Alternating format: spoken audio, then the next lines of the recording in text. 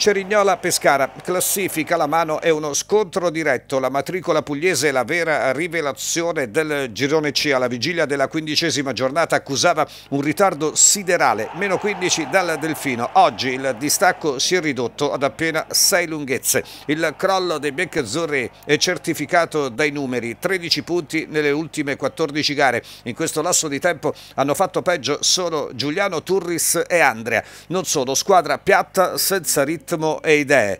A Cerignola gara verità anche e soprattutto per Alberto Colombo. In caso di esonero, come anticipato, certo il ritorno di Zeman. Pronto un contratto sino a giugno con rinnovo automatico in caso di promozione. Prima però la sfida di Cerignola, test di indubbia rilevanza. Colombo consapevole. Il tecnico lombardo non si stupisce, non è infastidito da voci e indiscrezioni, anzi confida di ribaltare la situazione situazione?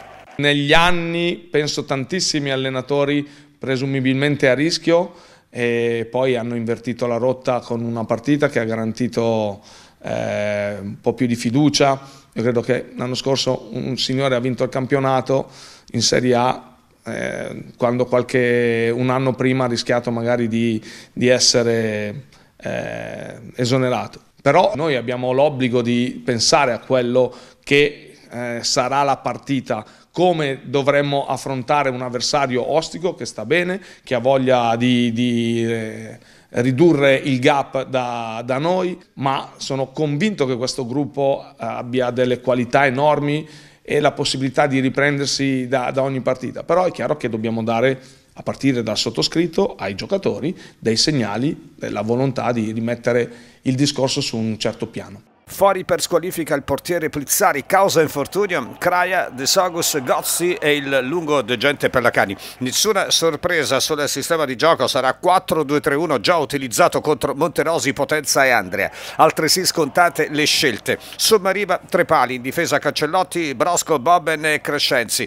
Mora, Giabua, tandem di mediani, esterni Merola e delle Monache, tra le linee Raffia alle spalle di Vergani. Si diceva del Cerignola, vera sorpresa sorpresa del girone. In casa 8 vittorie, 3 pareggi, altrettanti KO. Squadra aggressiva, pericolosa quando ribalta l'azione fisica nelle retrovie, ma anche di buona qualità. Un solo assente, lo squalificato Langella. Sistema di gioco a 3-5-2, probabile 11 Saracco Trepali, in difesa Blondet, Capomaggio e il rientrante Ligi. Sulle fasce Russo e Righetti o D'Ausilio. Play l'esperto bianco, Mezzali, Tascone e Senza Mazza davanti al fianco di Malcore, 10 gol in campionato, il 2000 Ashik, calciatore marocchino, molto interessante. Se così fosse, l'ex Teramo d'Andrea partirebbe dalla panchina. Il tecnico Michele Pazienza. Avremo di fronte un avversario eh, di tutto rispetto, un avversario con un blasone, un avversario